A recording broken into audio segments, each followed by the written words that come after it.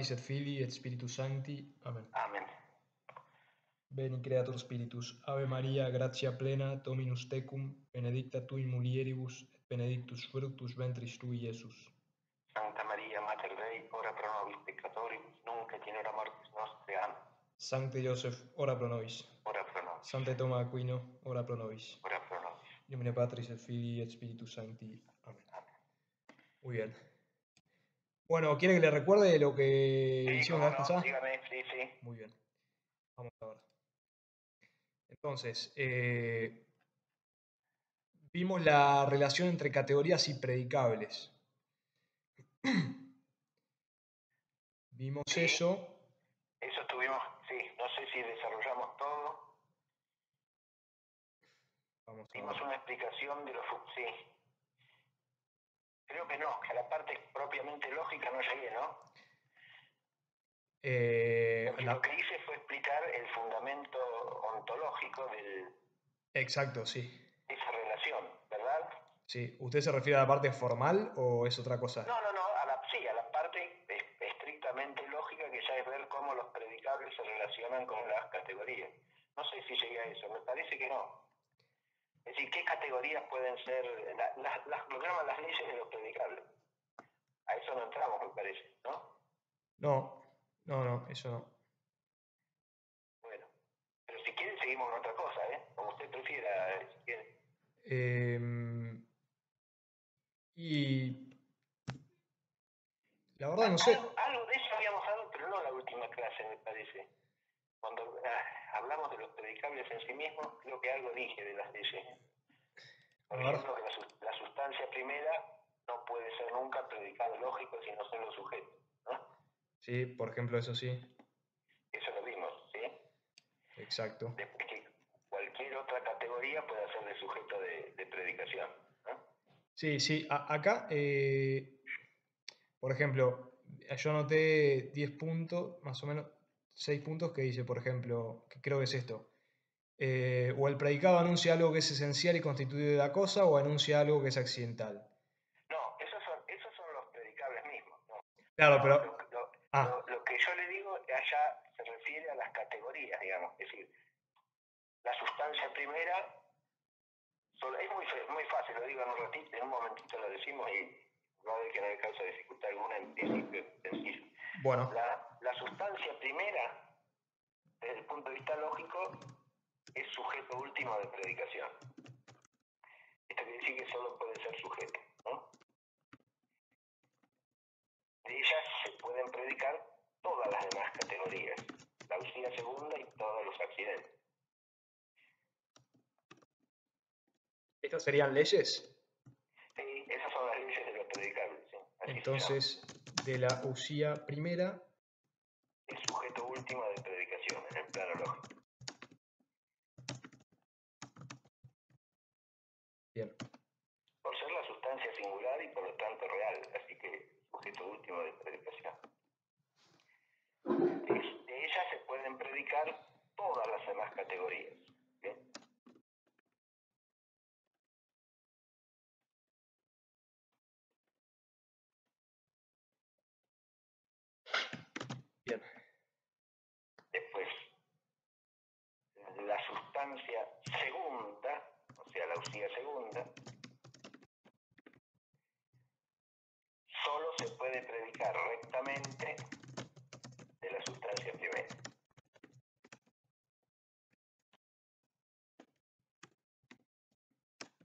Sea, yo no puedo predicar un universal de una categoría, de una, un accidente.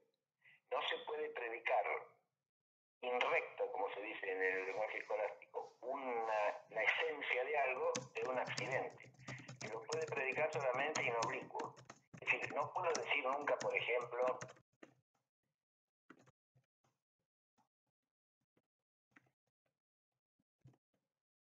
el blanco o este blanco es hombre. caso, este blanco es el hombre. Eso es predicar en oblicuo, es decir, en un caso declinado. ¿Se entiende? Pero pertenece a, hay que decir ahí. Lo que se predica en todo caso es la pertenencia de un accidente a cierta sustancia.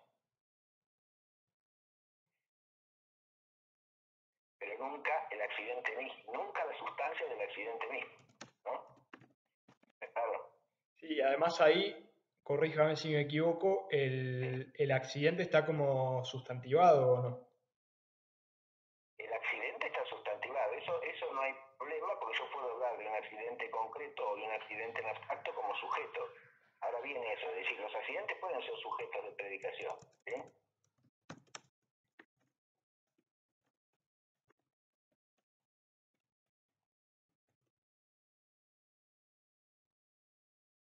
Accidentes ser sujetos de predicación. Cuando digo este blanco es hombre, No, este blanco es hombre está mal dicho. Eso es lo que no se debe decir. Eh, eh, ahí no, no tiene sentido eso. Eh, este blanco es hombre, no. Yo puedo decir este blanco pertenece a un hombre. O pertenece y a si, un con, y si, y si Es, con- de- es del hombre, del hombre, pero no que es hombre. Y si con blanco me refiero a la sustancia blanca, este blanco, por ejemplo, de un hombre blanco, este blanco es hombre, Este blanco, refiriéndose a la blancura concreta de un hombre, sí, este es lo mismo. Este blanco es hombre, lo único que quiere decir, bien dicho, es que este blanco pertenece a un hombre. No puedo decir que es hombre, sin más. Porque si no le estaría atribuyendo la sustancialidad al accidente. ¿Se claro. entiende? Hombre es una sustancia de suyo. Si predico ser sustancial, lo predico de una sustancia, no lo puedo predicar de un accidente. Habría un error en la predicación esta, eso es lo que dice la ley. ¿Se entiende? Bien, Si, si lo que quiere decir es que es del hombre, es humano, pertenece al hombre, está bien. ¿Es humano en general o pertenece a este hombre? Cualquiera de esas dos cosas se puede decir. ¿Está claro? Bien, Este blanco es humano, quiere decir este blanco es propio del hombre. ¿sí? O es un blanco propio del hombre. Y este blanco es, es este hombre, este blanco pertenece a esta sustancia concreta que es este hombre. Pues esas cosas están bien dichas, eso se puede predicar sin problema. Eso no, en oblicuo se puede predicar algo, una relación en realidad del, del accidente a la sustancia. Como es el ser propiedad o el pertenecerá. Lo que predico en realidad es una relación, por, por lo tanto otro accidente. bien. O sea, esta ley se resume básicamente en no predicar lo sustancial de lo accidental. Esta, exactamente, sí. No, el- es decir, si, si el sujeto es un accidente, no puedo predicar sin más la sustancialidad, ni primera ni segunda. Ahí hay un orden ontológico que hay que respetar. El orden es que el orden ontológico es que la sustancia es el sujeto real de los accidentes, que inhieren en la sustancia. Eso se expresa en el orden lógico en la relación de sujeto y predicado. Si esa relación no se respeta, estamos haciendo una predicación sin fundamento en la realidad, errónea. Bien, ¿Está claro? El- pero lo que, la tercera ley ya es que los accidentes se pueden tomar como sujeto, es decir, no hay problema de tomar un accidente como sujeto.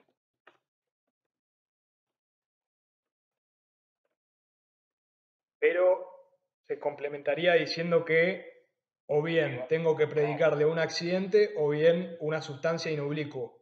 Exactamente. Esa es la cuarta ley. El accidente se toma como, su- como sujeto. Habrá que predicar de él otro accidente.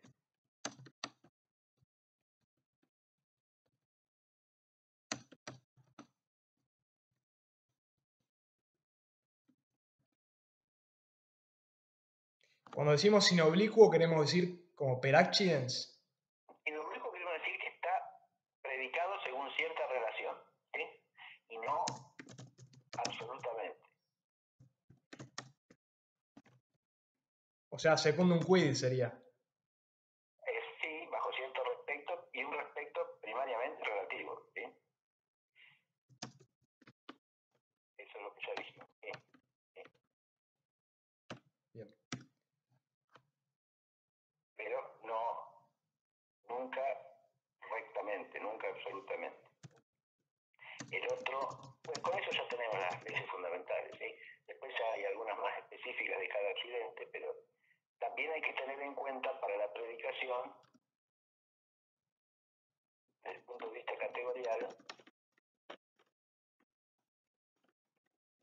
el grado de abstracción en que se mueven las razones que hacen de sujeto y predicado, los conceptos que hacen de sujeto y de predicado.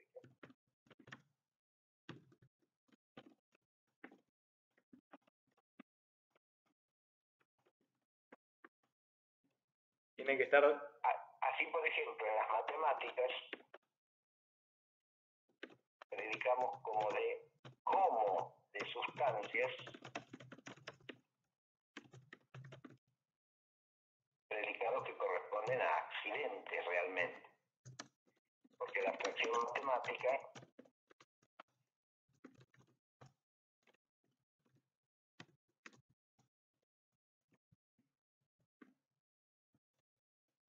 por su modo propio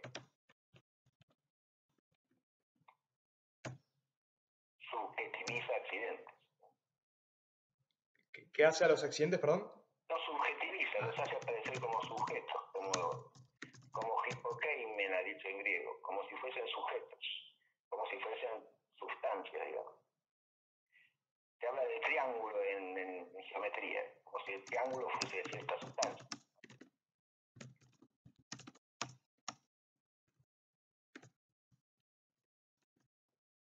Cuando en la realidad la triangularidad solamente puede ser un accidente, ¿no? la figura corporal de cierto cuerpo real o de cierta parte de un cuerpo.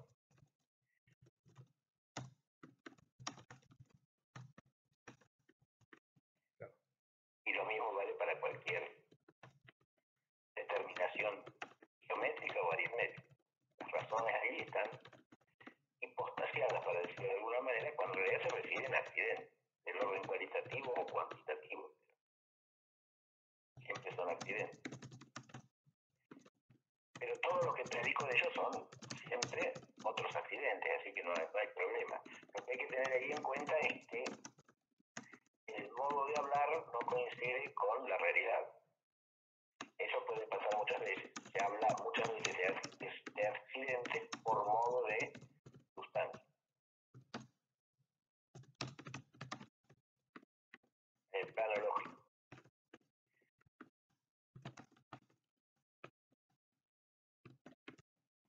Cualquier error ahí se previene entendiendo que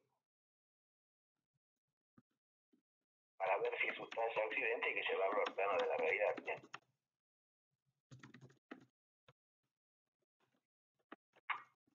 No solo en la matemática pasa. En la matemática pasa por en virtud del grado de abstracción que hace eso sistemáticamente. Porque toma toda determinación de la, de la cantidad dimensiva abstracta de su sujeto y la considera como un en sí. Entonces, es obvio que permanentemente está hipostasiando accidentes. Es el modo de abstracción matemática, eso es inherente a la abstracción matemática. Pero a veces eso pasa simplemente por el modo de hablar, es decir, pasa en el plano lingüístico, aunque no se corresponda rigurosamente con la realidad. Pasa necesariamente, si no, es que podamos evitar siempre eso. Si hablamos, por ejemplo, de,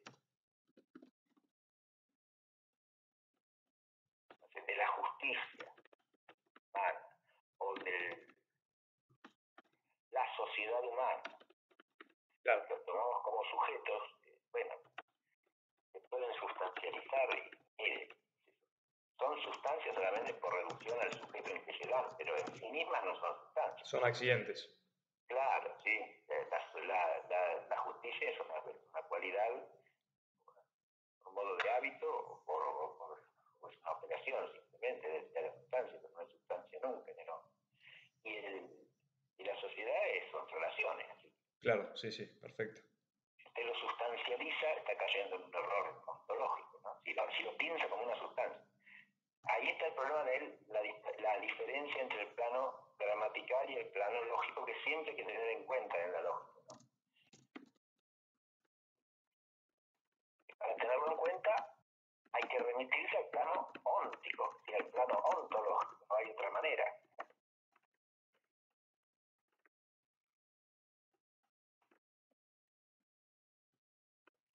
Y de ahí la importancia capital que tiene relacionar siempre los predicables con las categorías. Ahí se ve el, la razón fundamental por la cual hay que poner en relación una cosa con la otra.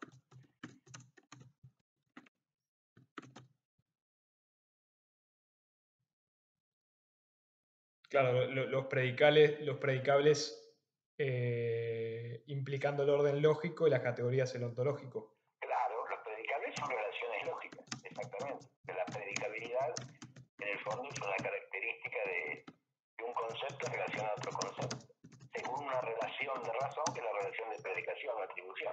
¿no? Las relaciones de razón que pertenecen al plano lógico, las relaciones de predicabilidad. En cambio, las categorías ya anclan en el ser mismo de las cosas. Esa relación. Eso hay que remitirse siempre a eso. La razón fundamental está ahí. Bien. Eso era lo único que nos faltaba, eso está. Con eso, eso, yo creí, me pareció que eso no había llegado a, a presentar así, creo que no, ¿no? No, no, no, no. No, esto no, lo habíamos visto, bueno. Sí. Bueno, ahora, digamos, se me ocurren las siguientes salidas, ¿no? Usted. Sí, sí, cómo no. Sí.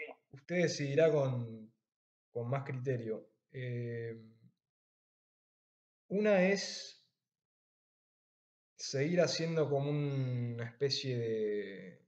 lo que venimos haciendo, pero pasando ya a los, a los, siguientes, a los temas que vienen. Sí. Eh, otra es hacer una. tratar de hacer. aplicar todo lo que vimos a ejercicios lógicos. Sí, yo eso se lo estoy debiendo todavía, sí. Sí, sí. Eh, yo busqué los ejercicios que tenían y los encontré, por eso estoy demorando, porque los tengo que rehacer. Pero no, no se preocupe que yo se los voy a mandar. No, no pasa nada. Eh, son fáciles, no, no, no es, no es una cosa complicada de hacer, pero necesito tener un tiempo para ponerme a escribir. Sí, no hay problema, no hay, no hay apuro. ¿Y qué eh, hacemos alguno ahora? ¿no? Bueno, como para tener una idea de cómo para es tener el... idea de cómo pueden ser, sí. Claro, sí.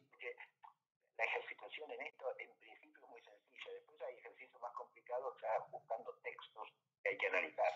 Pero los primeros son ejercicios elementales del tipo, yo le doy una, el nombre de una sustancia primera cualquiera y le pido que predique de esa sustancia primera, primero que nada, la usía segunda. Segundo, tres predicados para cada uno de los accidentes. Por ejemplo, ese puede ser un ejercicio. Hacemos uno si quiere de eso. Bueno. Eso para, para ejercitar las categorías, ¿sí? Bien. Póngase, eh, yo le digo, eh,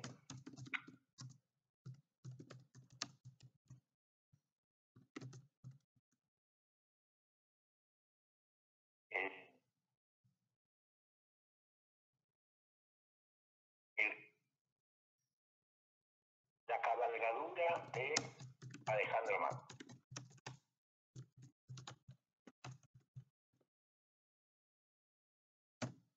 Bien. Entonces usted ahora primero predica la usía. Obviamente la usía segunda, ¿está claro? Sí. ¿Qué sería? Cabalgadura. Sí, es un qué. El nombre de la categoría, tengo que decir, la sustancia. La, la, sustancia, sí. Sí, porque cabalgadura en castellano le puse a propósito, eso se entiende de cualquier animal sobre el que uno monta, ¿no? Que podría ser un burro, una mula, un caballo, ¿sí?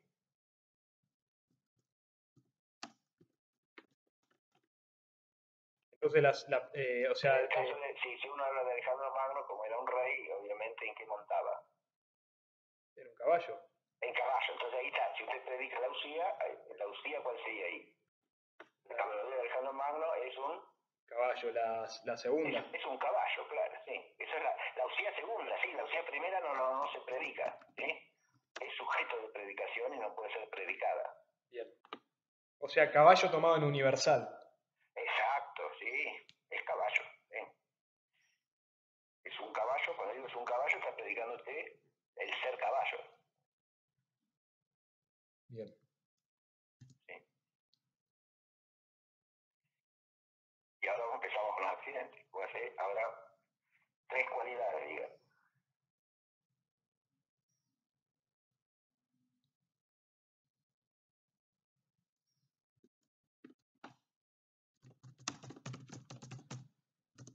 Entonces, la primera cualidad las invento. Sí, sí, atribúyale usted la cualidad que sí, Bien. sí, no, no vamos a hacerlo historiográficamente. No, no, no yo el caballo. ¿eh?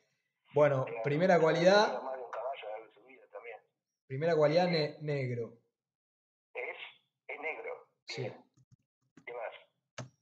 Es eh, alto Es alto, muy bien. y es veloz. Es veloz, perfecto. Muy bien. Ahora, si usted me pide que yo eh, diga de Eso lo podríamos afinar distinguiendo los tipos de cualidades. ¿sí? exactamente, eso le iba a decir. Sería Ahí, otro ejercicio ese. Pero por ahora quedémonos acá, ¿sí? bueno, Ahora vamos a las can- tres cantidades. bien. eh,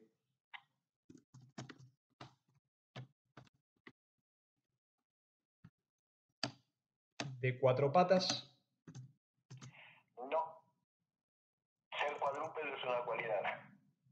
ah, ¿cualidad de qué tipo? ¿Sí? ¿Cualidad de qué tipo es? Sí, pertenece a la figura corporal de, de cualquier animal que tenga Ah, bien. Tres cantidades, bien. eh. Cuadrúpedo no. de, de dos, de do- Fíjese que hay- eh, ve, hay- esto es lo importante, es muy sencillo esto, pero obliga a pensar, cuando hablamos de cantidad como accidente, estamos hablando de lo que se llama la cantidad dimensiva. Claro, Fíjese, cuando dice cuatro patas, usted no está hablando de cantidad dimensiva, está enumerando partes que son Claro. sustancialmente homogéneas entre sí, aunque no del todo, porque las, las dos patas delanteras y traseras son distintas cualitativamente en el caballo, y, la- y está, las está enumerando como partes sustanciales, y son cuatro partes sustanciales del cuerpo del caballo, pero ese cuatro no es cantidad dimensiva, ese cuatro se llama cantidad metafísica o cantidad ontológica, es la enumeración de individuos. Eh, por eso yo siempre les digo que cuando se enseña matemática contando cosas, eh, se hace un disparate. El cuatro de la matemática no son nunca cuatro naranjas. El cuatro de la matemática es algo que mide cuatro. Es algo en lo que cierta cantidad entra cuatro veces, no cuatro individuos de la misma especie. El cuatro de la matemática no enumera individuos. El cuatro de la matemática es una cantidad pura. ¿Se entiende eso? La, la enumeración de individuos o de partes individuales de un todo es cantidad metafísica, no cantidad dimensiva. La cantidad dimensiva deriva de la extensión. Siempre implica un término de mensura respecto de algo, o sea, una unidad de medida. ¿no? Cuando usted, dice, usted dijo como cualidad alto, y está bien. Ahora, si usted me dice de tanto de alzada, ahí está dando una cantidad. ¿Está claro? claro, si yo digo de dos tiene metros, dos metros de alzada, póngale, entonces ya está diciendo una cantidad. ahora, ahora, eh, ¿qué más puedo decir? De un metro de ancho. No decir es uno o tiene cuatro patas. Claro que es uno, pero la unidad sustancial del caballo de Alejandro Magno es, es, es- es un trascendental de ser. ¿Entiendes? Ahí No, no está hablando de la cantidad ahí. Claro que es uno. Es uno en el sentido de que es distinto de cualquier otra sustancia y idéntico solamente a sí mismo. Sí, pero la unidad como trascendental de la entidad. ¿Sí? ¿Está claro? Lo mismo que si digo, tiene cuatro patas. El cuatro de cuatro patas es la enumeración de esas partes del cuerpo que son las patas. Eso no es una cantidad dimensiva, eso no es el accidente cantidad, ¿eh? Bien. Entendido. Ahora, si yo Sí, yo lo que estoy pensando, no sé si es correcto, pero A ver, no, no puedo decir más que un, una, un accidente cantidad. Y de dos metros de alto, a menos que diga de un metro de ancho. No puedo decir muchas cantidades del caballo. Depende de lo que usted quiera medir del caballo. Como si dijera. Claro, el caballo tiene alzada, tiene. La alzada es- se mide desde, la- desde- desde la base de, de las patas hasta la cruz del caballo, o sea, hasta donde nace el cuello. ¿sí? Usted mide, puede medir también las dimensiones del tronco del caballo, puede medir la altura de, la cabeza del caballo hasta el, hasta el suelo. Bien. de la cruz desde, la cabeza- desde- desde el remate del cráneo del caballo hasta el suelo, puede medir el peso del caballo, Bien, bien, bien, que me bien. dice de 450 kilos de, de peso, entonces está dando una medida del caballo, ¿está claro? Todo lo que sea mensurable da lugar a una cantidad. Bien. Lo que sea mensurable quiere decir que yo, partiendo de una unidad de medida, lo puedo cuantificar. ¿Se advierte? Bien, perfecto. Eh, La medida la puedo expresar con una unidad de medida o la puedo expresar diciendo que la unidad de medida, fíjese, es siempre una relación, ¿no? De cierta cantidad a otra cantidad. Y usted ahí lo que está haciendo es precisar la cantidad.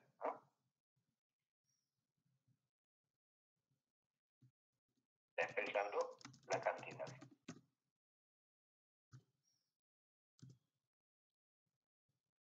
bien.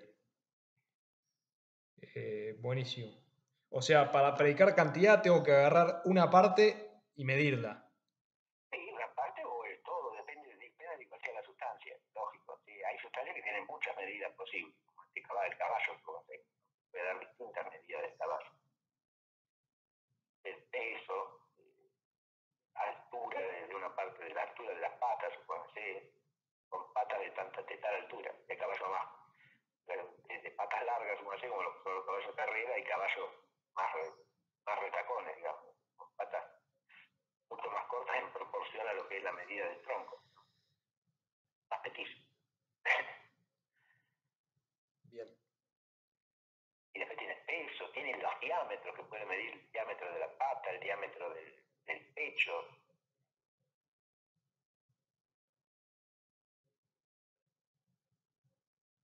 Cualquiera de esas cosas es una cantidad.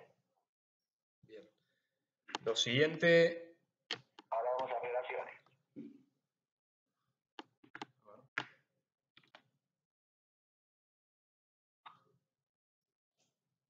Eh,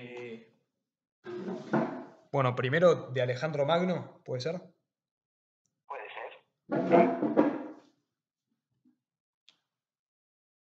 Ahí la relación que está señalando es la relación de, De posesión. de posesión, muy bien, de posesión o de propiedad. Son dos relaciones distintas. Eh, que sea propia de, propiedad de él es una cosa, que lo tenga en posesión para usarlo. es otra. Bien, pero está bien, es de Alejandro. Si usted dice de Alejandro Magno, o propiedad de Alejandro Magno, poseído por Alejandro Magno, está perfecto. Cualquiera de esas dos es una relación, sí. Otra, a ver.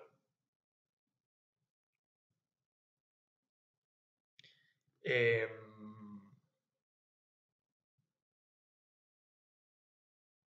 no sé si está bien, pero podría decir. eh, eh, mm, a ver, ahí quizás caigo en una. Eh, Diga, diga, diga, si estamos haciendo el ejercicio, no sea problema. Si hay algo que, que ah, ganamos, ganamos. amigo de los hombres. Ahí caigo en una cualidad, ¿no? en realidad. Eh, claro, depende. Si usted con amigos de los hombres que, eh, está bien, eso es un- sería una cualidad si usted lo que quiere decir es eh, o fácilmente domesticable o servicial para el hombre, todas esas son cualidades, ¿sí? Cualidades relativas, pero cualidades.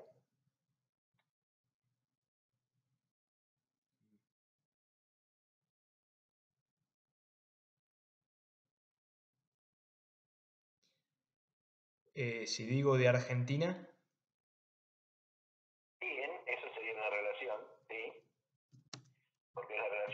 que eh, diga- digamos que a- a- por, por más que no nos esforcemos por ser hi- historiográficos, en este caso decir que el caballo de Magno era un caballo criollo sería un poco forzado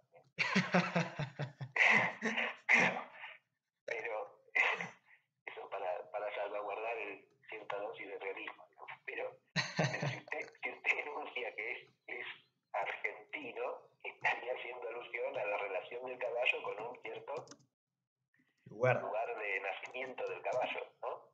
Está muy bien. Bueno, a lo mejor eh, fue expor- exportado de... Si usted quiere especificar la raza, ya no, ¿eh? Porque eso sería una cualidad.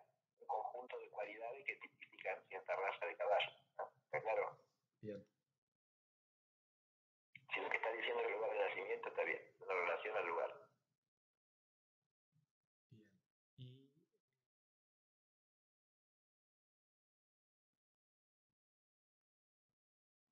Eh, y si digo, por ejemplo, eh, cami- en camino a Roma, Ah, fíjese si en camino, ¿qué está queriendo decir? que se dirige a Roma, Y se dirige que es eh, una acción. Ajá. Entonces no está predicando una relación sin. Pero, y si digo, Él está predicando una acción, ag- ag- agregándole a la acción una referencia de qué? de lugar. Ah, sí. Pero si digo, si con se dirige, me refiero no a que se está moviendo ahora, sino que eh, Alejandro Magno tiene la intención de, que, de llevarlo a Roma, digamos, como algo que está en potencia. De, Eh, claro, a ver, fíjese. Si usted está diciendo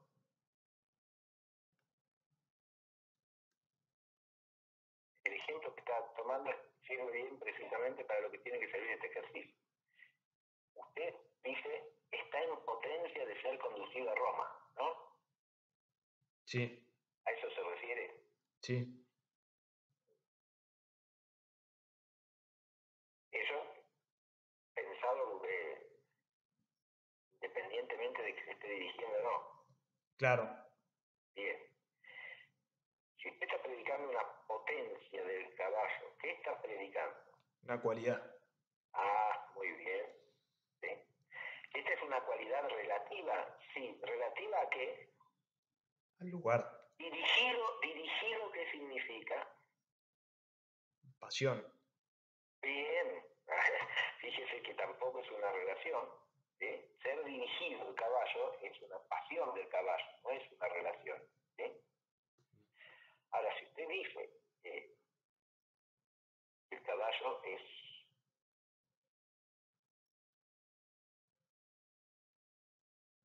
está cerca de Roma o está lejos de Roma, usted estaría predicando una cierta relación según el qué. Según el lugar. Muy bien, y esto me sirve para señalarle otra cosa. Las relaciones no siempre se dicen de la sustancia. Muchas veces se dicen de la sustancia según un accidente. Y hay que distinguir un tipo de relación del otro. ¿Se advierte? Si yo digo que la relación, por ejemplo, el caballo este es propiedad de Alejandro Magno, como dijo primero, ¿no? Ahí está predicando una relación entre sustancia y sustancia.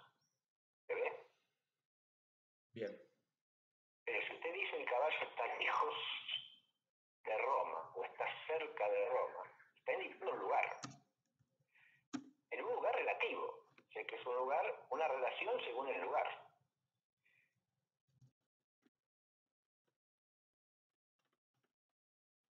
Bien, entiendo. Porque está- predicando una relación a Roma de cercanía o lejanía. Y con eso está indicando cierto lugar. Es que el lugar normalmente se indica por una relación.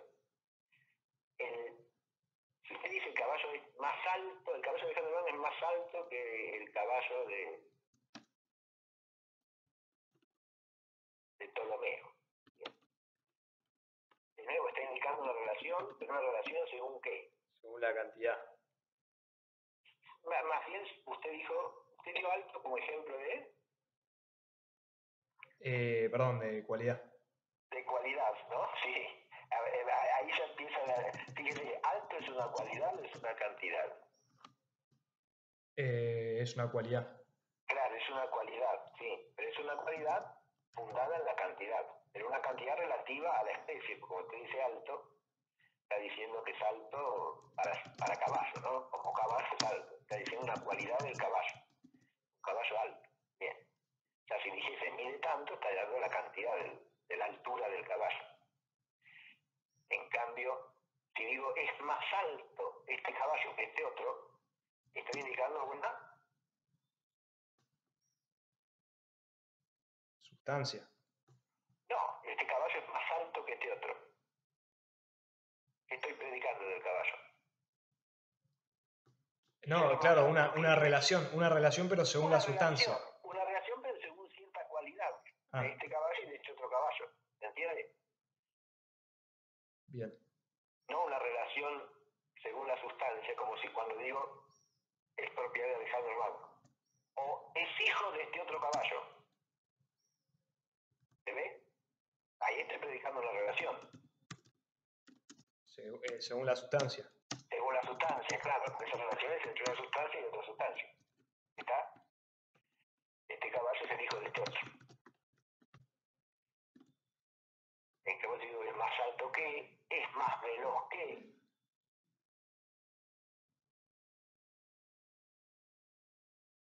tiene 30 centímetros de alzada más que este otro. Siempre que digo una comparación es según la cualidad, es una relación. Siempre que hago una comparación es una relación. Pero es una relación según alguna determinación, ¿no?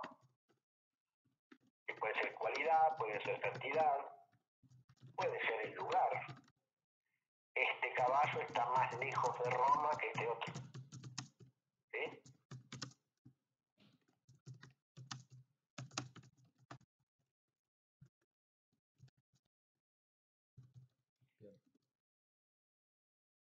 es importantísimo porque al tocar la relación, ¿hola? Sí, sí, estoy. Ah, no, oí un ruidito como digo, a ver si se cortó. Eh, al tocar la relación, vemos cómo la relación está complicada con las demás categorías occidentales, ¿sí?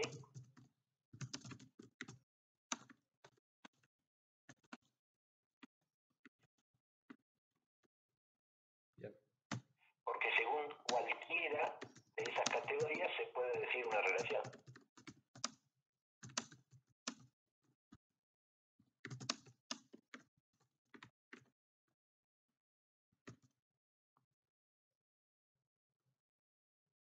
Si yo digo, este caballo es más domesticable que este otro, ¿no?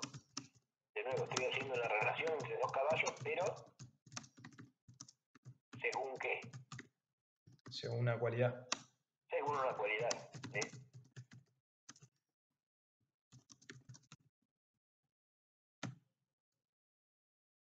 Pero según una cualidad, a diferencia de, digo, si es más veloz, sería según una cualidad activa. En cambio acá según una cualidad pasiva. Pasiva, claro. ¿eh? Así es.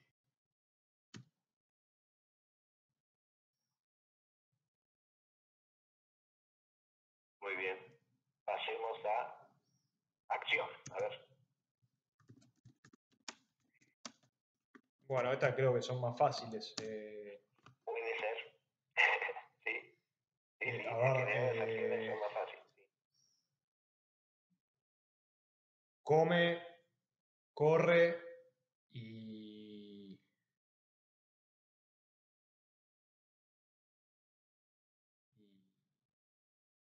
y, traslada. Bueno, muy bien.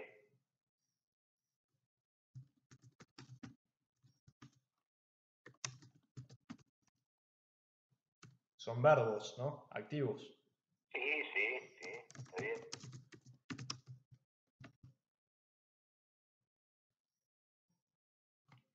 Ahí lo único que hay que aclarar. Que recordar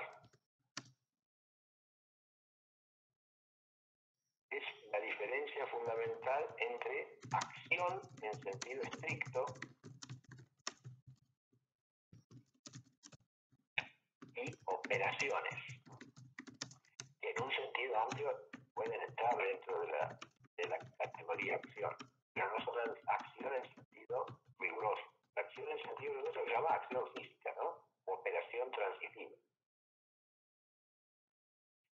Filosofía, que implica un efecto extrínseco a la gente.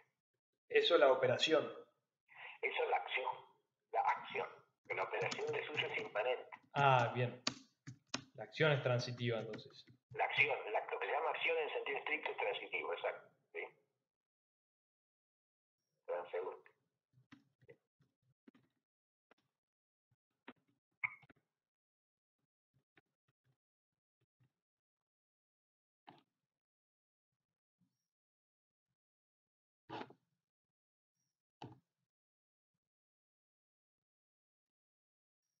Muy bien. Eh, y si yo dijera, por ejemplo, el caballo, medio raro, pero si digo el caballo eh, está metabolizando, eso es una Sí, operación. Es una operación, está bien. Sí, sí. Es una operación, pero es un accidente de acción. Eh, sí, sí, por eso le digo, la acción es única que tiene que distinguir eh, ontológicamente si se trata de una acción en sentido estricto o una operación, pero entran en la categoría de la acción, sí. Claro, no, no puede haber una operación que no sea acción. Categorialmente no, claro. Bien.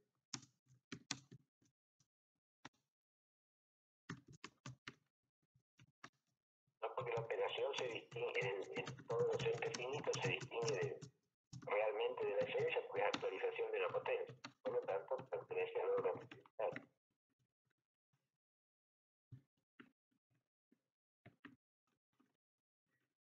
Por el acto primero es no occidental.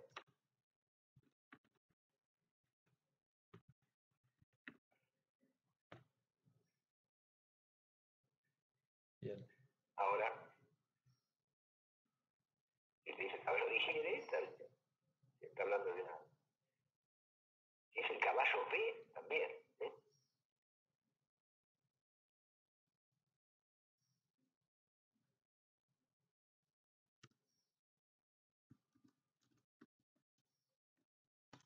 Tres pasiones. Ve el árbol. No, eso, es, ac- eso es acción también. Sí. La acción es, es operación cognitiva esa. Mm. Las operaciones cognitivas son de una condición ontológica peculiar que es ser activo-pasivas, pero son acciones, no son meramente pasiones.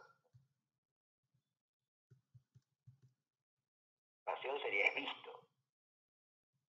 Yo digo, es, vi- es visto por el perro, entonces ya es una pasión del caballo.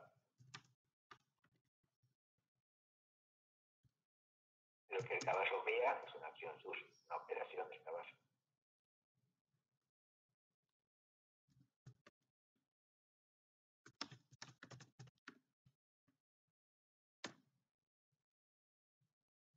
Porque ahí la pasividad no es respecto de una acción del otro, simplemente respecto del acto del otro que es recibido intencionalmente por la potencia del conocimiento. Ahí está el- todo el misterio del conocimiento. No, hay, no hay acción pasión en sentido propio.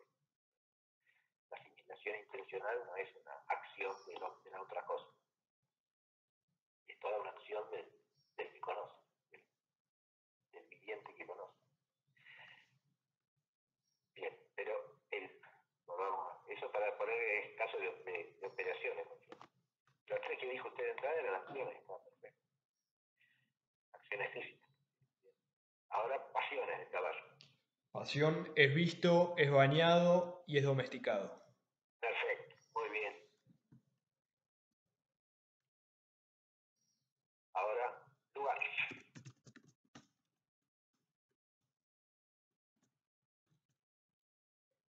Em,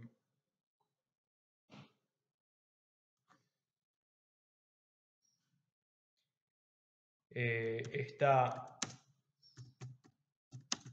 en Roma, En Roma, muy bien.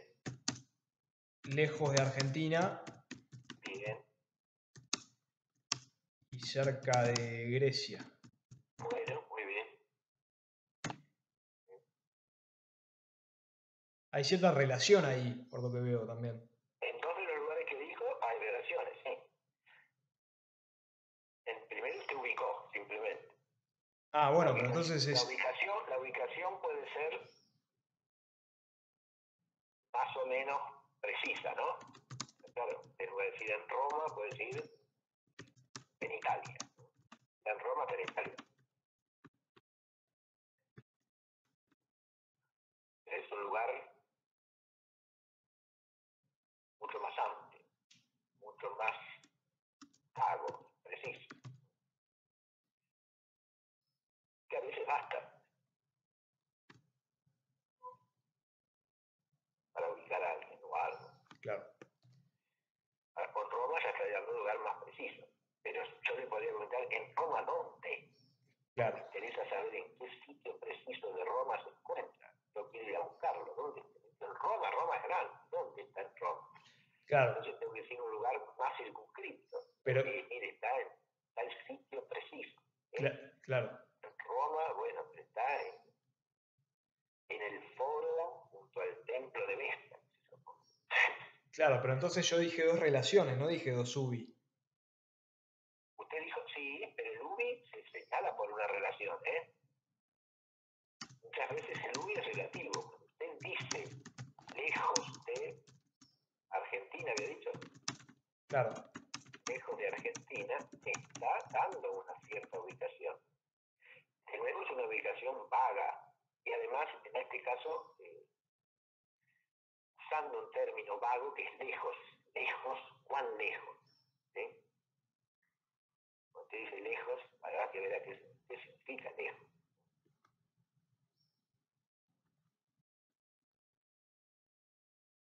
Lejos, ¿qué sentido de lejos?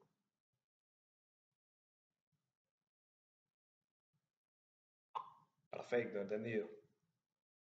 Pero está dando una ubicación, sí, una ubicación relativa. El UBI sin más, sino una ubicación relativa.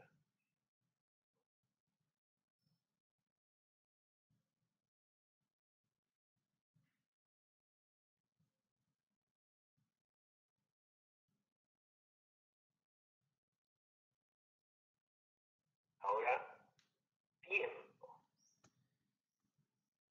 Tiempo, a ver. Pero espere, espere, no, primero vamos a hacerlo mejor. Primero, yo me disposición en el lugar. O posición, como se dice.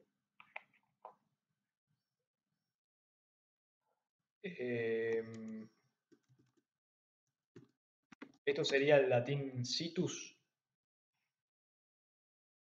Así es.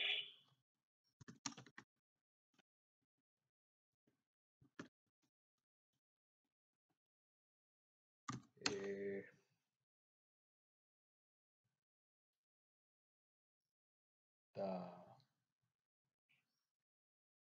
está, está, sen- está sentado. Está sentado. ¿Qué está? Sentado. Sí, en el caso del caballo es difícil eso, pero Sí. Bueno, está recostado, está recostado. está, está echado, sí, está echado o está. ¿Qué otra cosa podría estar? En un lugar. Es como están dispuestas las partes en el lugar que ocupa, según Aristóteles. Cómo están dispuestas las partes, o sea, la posición que adopta en el lugar. Claro, está. Se puede decir un caballo está echado o está de pie Está de pie. o está Y por momentos puede estar en dos patas. muy bien, está parado en dos patas, correcto.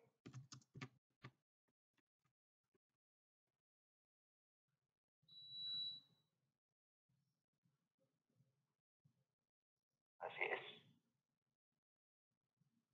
Está levantado, o rampante, como se dice en el alto, y está en dos patas. Perfecto, eso sería la, la disposición en el lugar. Ahora sí, tiempo.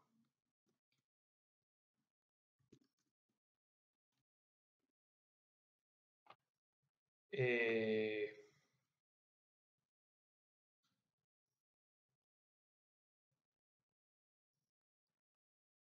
hoy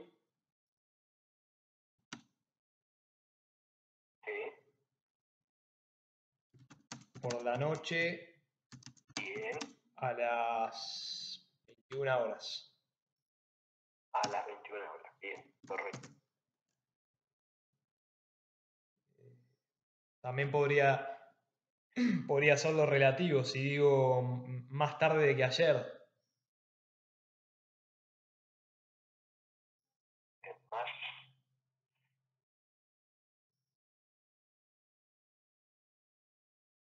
Sí, también, sí, cómo no. Sí, sí. sí. Antes de ayer o después de ayer. Sí. Cómo no. Sí. O sea, es, es análogo a Luby. Puedo dar una referencia más o menos precisa o hacerlo relativo. Así es.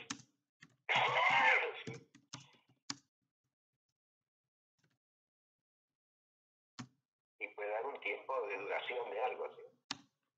Durante 30 minutos, durante 10 años.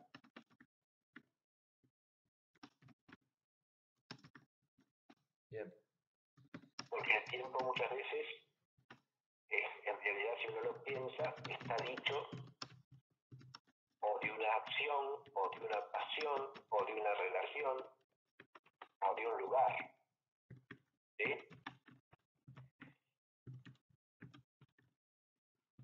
O de una disposición en el lugar. ¿Se advierte? De cualquiera de los anteriores, ¿no? Claro. ¿Se ve?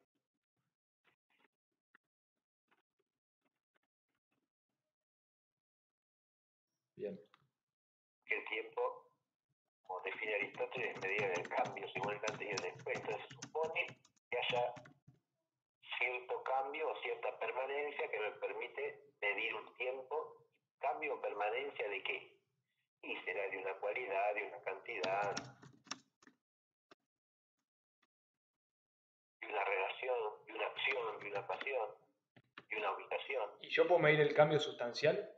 ¿No? Porque es instantáneo, También, ¿no? también, porque la sustancia misma puede tener duración, si es una sustancia corruptible, tiene duración. Y esa existir esa de existir, lógico. Durante tanto tiempo, legal del caballo. Se refiere a la duración de la vida del caballo, a la sustancia, no se refiere a ningún accidente. Así es.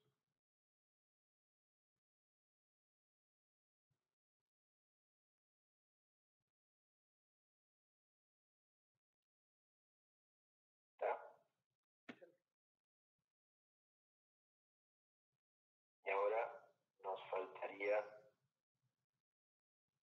solamente la avencia o posesión.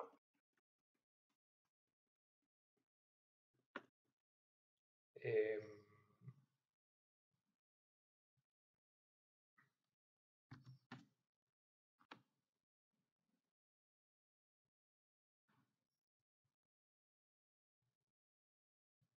eh, tiene una montura Con montura, muy bien.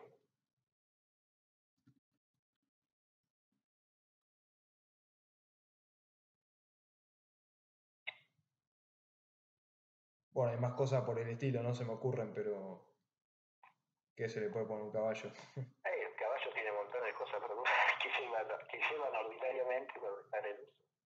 Con montura, con herradura, Ah, con rienda, es verdad.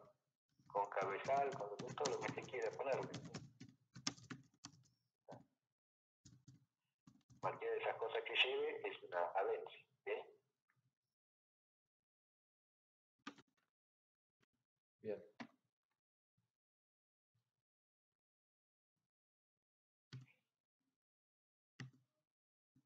También sería una avencia, por ejemplo, con mugre pegada. Claro.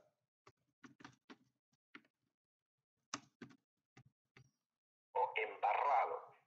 ¿sí? Claro.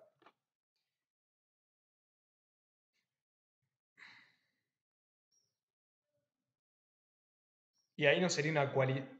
Si, si yo digo sucio o limpio,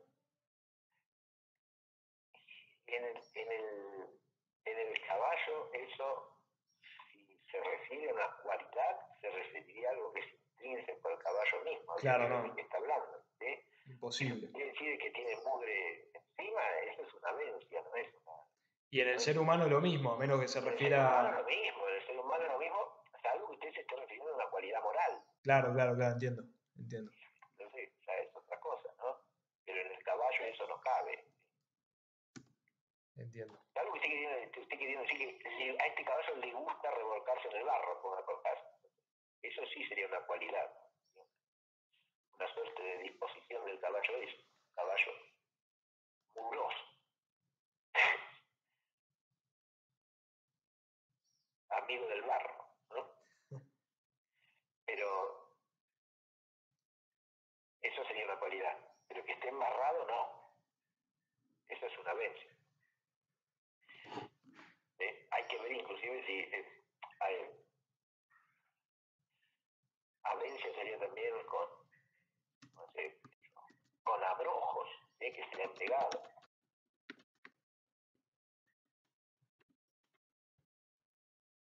Claro. con moscas creo que a veces las moscas se pegan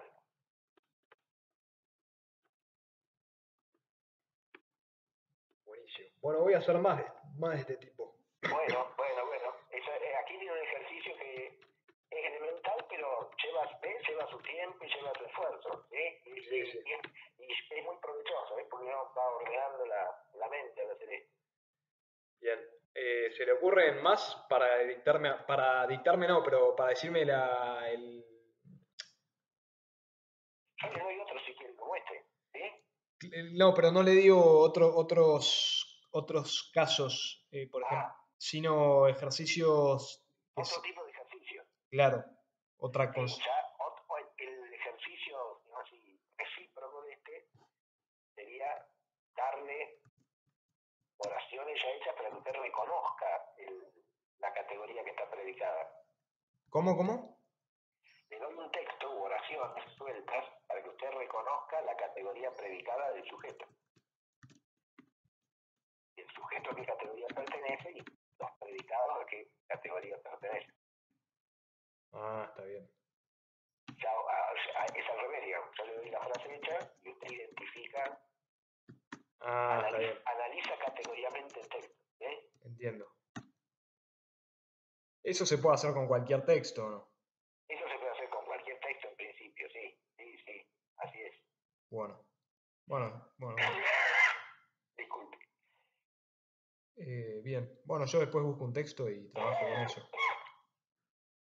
Sí, algún texto que le interese, algún texto que le resulte agradable leer y analizar, Bien. Y... literario, sea...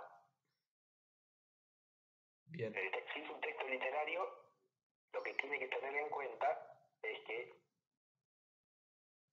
puede haber modos de hablar figurados y usted lo tiene que ubicar categorialmente, ¿no? Y tiene que traducirlo al lenguaje recto para ver a qué se refiere. Claro. Puede ser que anal- analice un poema. Suele haber ahí metáforas, personificaciones, todo tipo de cosas, ahí tiene una dificultad adicional que viene de la retórica del pasaje. Que hay que desmontar el aspecto retórico para pensarlo categorialmente. ¿Se ve? Eh, bien, ¿y después hay, hay otro tipo de ejercicio? No, fundamentalmente para las categorías no. Bien, ¿y para, para los predicables? Para los predicables se hace una cosa parecida a lo que estábamos diciendo recién con las categorías. Yo le doy un- una sustancia primera cualquiera y usted tiene que atribuirle predicados según las distintas, los distintos predicables. Eh, Normalmente, una vez que se han visto las categorías, yo les daba ejercicios de predicables combinando las dos. El primero predique pues, tres géneros y la especie. Tres géneros, tres diferencias y la especie.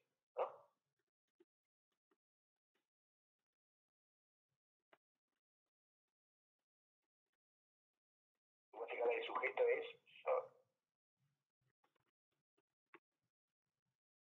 ¿De qué sujeto, perdón? Francisco de Sales, ¿sí? Te tomas Francisco de Sales como sujeto. Bien. Predique tres géneros, tres diferencias, la especie. La especie siempre es un único predicable, predicable, ¿no? Y el propio también es un único predicable, ¿no? No, propio puede haber muchos, ¿no? Ah, No, no. Las, las especies pueden tener diversas propiedades. Accidentes propios pueden ser muchos. Bueno. Y bueno, ¿y hay alguno más así? Los, los propios no son respecto de, de la sustancia individual, ¿eh? Los propios lo son respecto de la especie. Bien. Claro lo que le digo, no, no son propiedades de Francisco de Sales. Claro, yo no puedo, del hombre que es Francisco de, de la naturaleza humana. claro, no puedo predicar un propio de Francisco Sales. Propio de no, no, no, no. Eh, bien, ¿y hay algún otro ejercicio, algún otro tipo? Propiedades, pues vaya a predique tres propiedades o cuatro propiedades y después accidentes, dos o tres de cada una de las categorías. Ese, ese ejercicio com- combina los predicables y los accidentes. Y las, y las, las categorías. ¿Cómo es ese? ¿Predicar? Predic- predicamos género, diferencia, especie, propiedades. Quedarían los accidentes contingentes, ¿no? Claro, pero las propiedades no las puedo predicar de Francisco de Sales. Propiedades, predico, ¿cómo no? Francisco de Sales tiene todas las propiedades de la naturaleza humana. Son propiedades de él. Pero no, diji- no, dijimos, no dijimos recién que se, se predica la especie. puede predicar, lo que no predica son propiedades del secular, a eso, le estoy, eso es lo que le estoy diciendo. No piense cosas que sean propias de él como singular. Cuando usted predica las propiedades de un sujeto singular, lo que predica son las propiedades de su especie. Ah, bien, listo. ¿Está Entendido, claro? entendido, Eso es lo que entendido. estaba diciendo. Eh, eh, No estaba claro, me parece.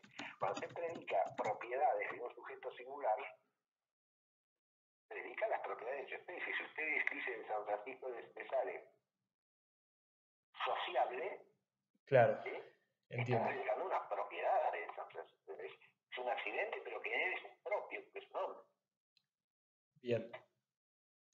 Y además de eso dijo accidentes. Y después, accidentes contingentes de todas las categorías de accidentes. Cualidades, cantidades, en orden, ¿no? ¿También de Francisco de Sales? Sí, Bien, con esto ya me ya tengo suficiente. Fíjese que, de nuevo le aclaro, son contingentes respecto de su naturaleza Particular, específica, ¿está claro? específica. no respecto de su humanidad singular. O sea, yo no puedo decir eh, San Francisco de Sales come. Sí, eh, a ver, come, o está comiendo, quiere decir. Sí, Sí, si come y dice que está comiendo, es, o estaba comiendo, es un accidente contingente. Claro, comiendo, pero es- es algo- en el hombre es una acción que puede darse o no darse. Ah, listo, listo, listo. listo, entiendo. Sí, sí. Sí, Bien. Buenísimo. Bueno, con eso ya tengo para, para practicar. Entonces, Bueno, pero, pero usted tome las, las sustancias. Lo que sí le aconsejo es que varíe de sustancia, es decir, tome, qué sé yo, esta mesa, este perro, es- este cacarandá, este o este naranjo, ¿sí? y después algún hombre, ¿no? que varíe de, de naturaleza de la, de la sustancia primera que toma. bien. Hay que piense en cada caso los accidentes, la- el género, la preferencia, la especie. Bien. Buenísimo. Eh, bueno, después lo que, no sé qué le parece a usted, pero a mí lo que me parece que, que podríamos hacer es seguir analizando las temáticas lógicas fundamentales y cuando terminemos eh, empezar a analizar más, eh, a- un poco más agudamente con texto en mano eh, el órgano. perfecto, sí, sí. Muy. Pero mm, sí, ahora no sé cuál, cuál es el La- próximo la- tema. La próxima empezamos, si quiere, con, con una proposición simple y vemos, eh, Bien, y ahí ya empiezan a aparecer de a poco todas las, las partes más formales, ¿o no? Exacto, sí, sí. Bueno, yo voy a ir leyendo, eh, bueno, voy a terminar de leer, si Dios quiere, si Dios lo permite, el, el- el comentario del Perij Hermeneias, ya, ya leí el de Aristóteles, me falta leer el comentario de, de Tomás, terminarlo, y voy a empezar a leer para ir adelantando los analíticos. Perfecto. Las refutaciones sofísticas las dejamos para el final. Sí, sí, sí, sí, sí. Hay que dejarla para el final. sí. Bien. Y empecé a leer a San Alberto de a poco porque no tuve tanto tiempo, pero por lo menos lo empecé a leer para familiarizarme un poco. Muy bien, muy bien. Este es, lar- es muy largo, tiene muchos textos lógicos, así que también tengo ahí para... Alberto, y además es muy denso, muy, muy profundo al mismo tiempo, pero a veces se pone denso el texto. Sí, Claro, sí, sí. Meterle las categorías, por ejemplo, es, es bravo. claro, Es interesantísimo, pero Alberto escribe a veces bastante, bastante duramente.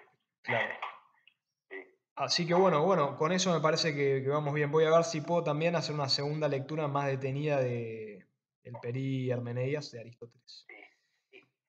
Eh, discúlpeme, yo le dije, empezamos con las proposiciones, pero bueno, sí, podemos empezar, pero ah, hay un tema eh, anterior que tendríamos que ver en relación todavía con los conceptos, que es de las propiedades de los términos del concepto. Eso es fundamental. Que, s- que serían cuáles. La suposición, primero que nada, Bien. Sí, sí, bien, hay que ver eso, es verdad. Sí, sí, sí, tal cual. la apelación, ¿sí? Bien, y todas las propiedades de los términos, porque eso determina la significación precisa de un término en la proposición. bien. Sí, sí, dale, dale. Vamos con eso entonces el martes que Bueno, viene. bueno, bueno. Bueno, seguimos con eso. Dej- dejamos acá entonces, profesor. Hacemos una oración. ¿Cómo no? ¿Cómo no? Sí, sí, sí, es la hora. In nomine Patris et Filii et Spiritus Sancti. Amén. Amén. Deo gratias. Gloria Patri et Filio et Spiritui Sancto.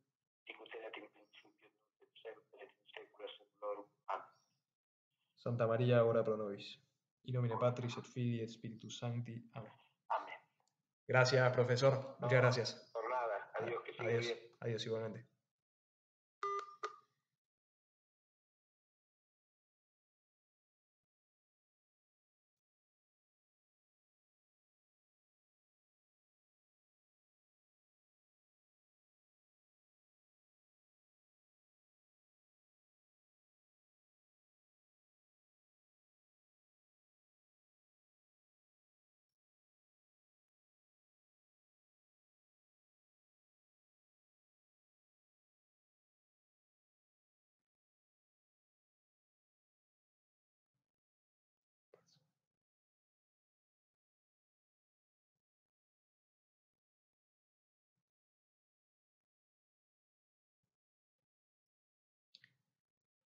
Ese es una consagración a, a Jesús por medio de la Virgen o a María de San Maximiliano Kolbe, que dice el padre Hayton que es todavía más radical que la de San Luis, porque la de San Luis nos hace esclavos y esta nos hace cosa de María, propiedad de María. Así que bueno, Dios te bendiga.